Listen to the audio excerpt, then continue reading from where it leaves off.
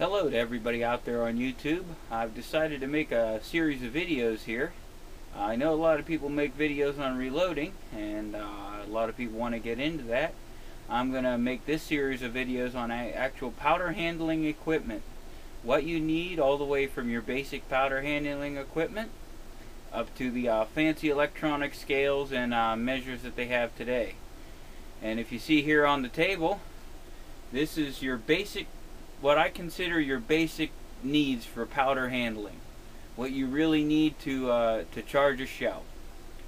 Uh, this is a fun powder funnel. Uh, if you got an if you got a steady hand, you don't really need this. But on some of the smaller cartridges, it's really hard to get powder inside of them without the funnel. You got your powder here, and uh, what the only thing else you really need other than your reloading recipe is a way to measure. And that can be something as simple as a uh, spoon and a steady hand and a scale, which you have here. Or you can also use these nice powder dippers that Lee puts out. Now, a lot of people are a little bit skeptical about the dippers, but uh, as long as you're consistent with how you use them, they do throw a, a fairly decent charge. What I usually do if I'm using a dipper, and I don't do that too often. But uh, I do do it some, with some field loading uh, with the old Lee loaders that I have. I actually measure the charge with the scale first to make sure I'm pretty close. Uh, you don't have to be exactly right to the point on. If you're loading that close to the edge of maximum that you have to be down to the tenth of a grain, you probably don't want to be using these dippers. But uh, then all you need to do is uh, measure your powder out with either the dipper or just a steady hand into the scale. Set your scale to your charge. Uh, just slowly trickle your powder into the pan until you reach your charge. And uh, that's it. For basic powder handling, there is very few things you need. A good scale I consider essential just so you can check your charge. Even though these dippers do work. That's about it for the basic stuff. Uh, now let's move on to the next step up, folks. The next step up in powder handling here. Uh, usually the next upgrade a person buys is a powder measure. This one's RCBS powder measure. Uh, pretty simple. You usually get a stand for it. I don't happen to have the stand here, so I'm just holding it. But uh, sits like this, screws into the stand and it dispenses a powder charge every time you flip this lever. Little micrometer here that allows you to adjust the charge. Um, put your powder in here and uh, you'll use your scale to adjust your powder charge. You'll drop a charge from the powder measure into the pan, put it on the scale, see if it zeroes out to where you want it charged. If it's a little light, you twist the micrometer out. If it's a little heavy, you twist the micrometer in until you get a consistent charge of the weight that you want for your loading. Pretty simple on that. But uh, usually the this is the next upgrade after the basics is a nice powder measure. Now Lee also makes a powder measure, the Lee Perfect powder measure. I've used it. It's okay. Uh, just personal preference. I like the RCBS powder measure a little bit more, but I uh, I do like Lee's products, but just personal preference on the powder measure is uh, my my preference is the RCBS. But uh, another upgrade which uh, you might consider as you go along in your reloading is an electronic scale. It's an easy, it's a, it's a convenience. You don't have to sit and wait for the for the beam to zero out. You don't have to worry as much about uh, stray breezes and stuff around the work area. Uh, the electronic scale is very easy. You turn it on. Uh, these little weights here are for your zeroing. Uh, instructions come with the scale, tell you how to zero it out. Basically, the, the same as you'd adjust your analog scale here, the digital scale does it electronically. Uh, this one runs on either a 9 volt battery or a little uh, wall wart plug-in. And it's a lot more convenient than the balance beam scale in my estimation. You drop your powder charge into the pan, put it on the scale, it tells you what it weighs. adjust up or down with your measure for the weight you want and that's it. Uh, no adjusting the little check ball or having to adjust the slider and lock it in place. It's just a much more convenient little scale and they're both very accurate. I've used the balance beam, I've used the electronic scales. I like them both, but the electronic scale is a lot easier. Especially if you uh, want to take a scale out to your local range and load on the bench a little bit.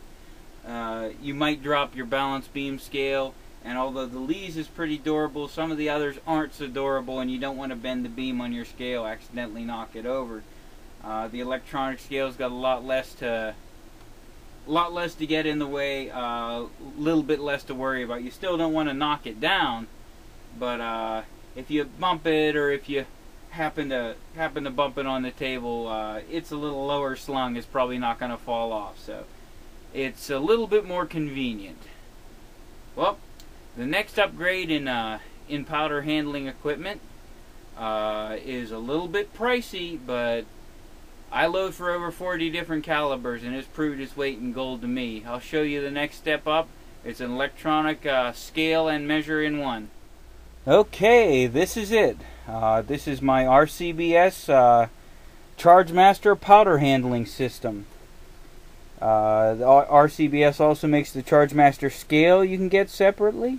Uh, they make the powder dispensing system. Each of these items can be bought separately. But I bought them as a unit, and it is uh, the ultimate upgrade as far as I'm concerned in uh, powder handling equipment. Uh, ease of use is phenomenal. Turn it on. Uh, it's got a nice backlit display here, which I really like and uh, it zero zero itself out. Uh, it's got a nice breeze shield or dust shield here, which I usually take off when I'm when I'm charging, just because I have a little bit of a cramped space here. Uh, all you need to do is know uh, make sure your your scale is zeroed as usual for an electronic scale. Pick your choose your powder, what type of powder you want to put into it Pour the powder into the scale.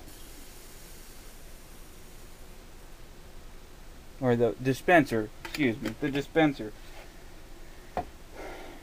Then all you do is, there's a keypad up here.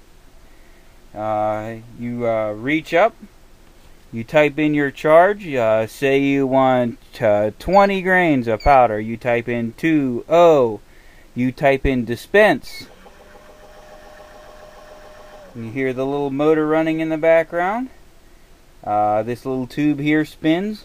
Powder comes out, charges into the pan. That beep tells you you got it. There's 20 grains of powder. There's your, there's your first load.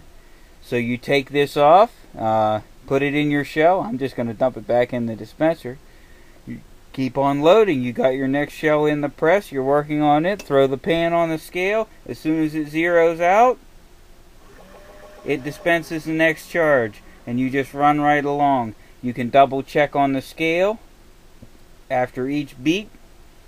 It will uh, show the count of your charge as to how many charges it's dispensed. That's another good way to keep track of uh, how, if if you if you're doing 20 shells and you've um, dropped 21 charges and you haven't, to your knowledge, uh, had a bad charge, then uh, you double charge a shell somewhere. So you better go back and check.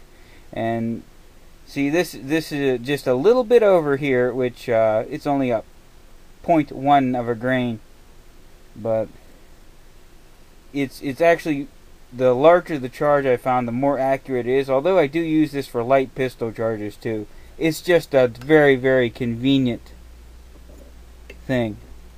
Throw it on, zeroes out, it dispenses the next charge. You don't have to touch it.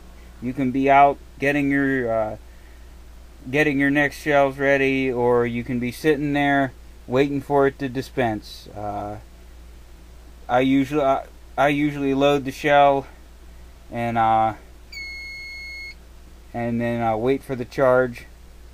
I'm usually not waiting very long. Uh, dispense out right to 20 grains, and you it you can double check it, look on the scale, it'll tell you if it's over, under, or what. But uh, this to me is the ultimate ease of use. And when you're ready, just hit stop. And it won't dispense any more charges. Really easy cleanup, which is one of the reasons I got the RCBS model. Lyman also makes one. Uh, I think there is another company that makes uh, one of these automatic powder dispensers. But uh, I did quite a bit of research and uh, settled on the RCBS. Uh, first of all, it dispenses any of the powders that I use very easily. There's memories in here. You can set your favorite charges up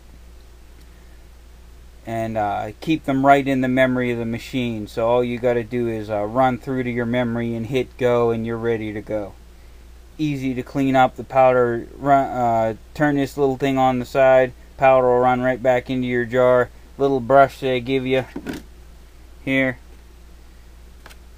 swirl it around in there a little bit. Make sure you got the powder out of the tube and it's clean. It's another convenience thing but uh, when you're running over 40 different calibers it helps to have something you don't have to go and look up the charges all the time. Uh, they're already on the machine.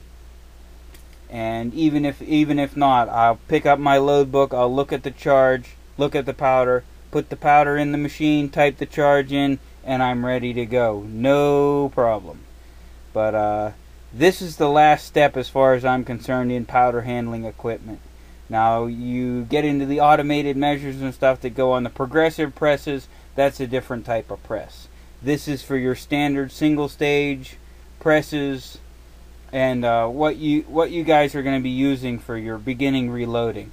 Uh, if you get a progressive press, they got the powder measures on them, and it's all uh, a cycle thing. So this is the end of the powder handling video. I hope you enjoyed it. Uh, if anyone has any questions, feel free to drop a comment there, and uh, we'll talk to you later. Everybody on YouTube, have a good day.